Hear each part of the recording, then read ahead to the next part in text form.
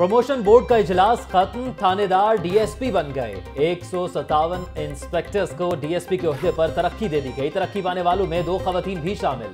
Record मुकम्मल न होने की वजह मुतद अफसरान को तरक्कियाँ ना मिल सकी।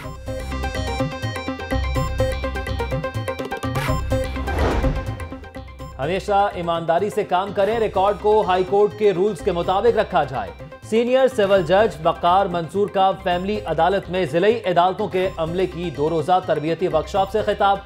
तकरीब में सिविल जज नादिया अली, सिविल जज नूर मोहम्मद समेत दीगर जजेस भी शरीक। और अली इंस्टीट्यूट में करशी यूनिवर्सिटी का पहला कॉन्वोकेशन 107 तलबा में डिग्रियाँ, तीन में गोल्ड मेडल्स तकसीम। गवर्नर पंजाब चौधरी सरवर ने बतौर मेहमान खसूसी शिरकत की।